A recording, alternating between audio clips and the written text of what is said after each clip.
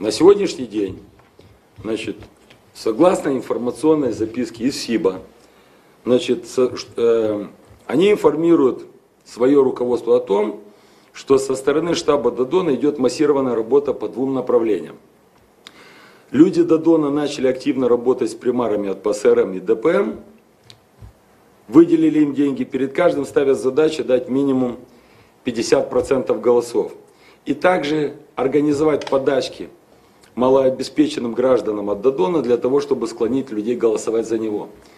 Додон поменял тактику. Уже не будут ходить с красными пакетами ПСРМ, так как раньше ходили демократы, как ходил Шор.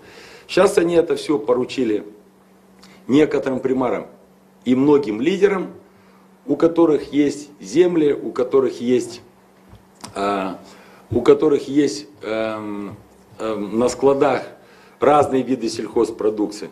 И якобы это будут помогать примары и лидеры, э, без всяких там пакетов по СРМ для того, чтобы не попасться. Задача стоит сегодня выделить помощь продуктами питания порядка 200 тысяч человек. Значит, из ассистента Сучалы, насколько я понимаю, Дадон выбрал 200 тысяч человек, которым тяжелее всего. Это, наверное, не наверное, а точно тут указано. Это есть, значит, среди них многодетные семьи, инвалиды. То есть пройтись по людям, у которых самая тяжелая ситуация, для того, чтобы обеспечить себе именно вот эти 200 тысяч голосов, чтобы Дадон мог э, во втором туре сказать о том, что вот смотрите там, как меня любят люди. Потому что без этих 200 тысяч голосов Дадон может не пройти во второй тур. Я видел реакцию на Дадона в разных районах страны, даже в тех районах страны, в которых э, Дадон набрал более 50% в 2016 году, сегодня он там в некоторых не набирает даже 20-25. Я уже молчу про центральные районы Молдовы.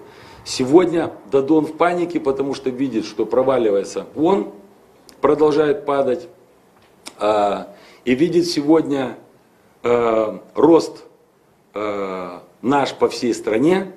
Ему показали опрос, где усатый уже более 18, позавчера и Дадон в полной панике.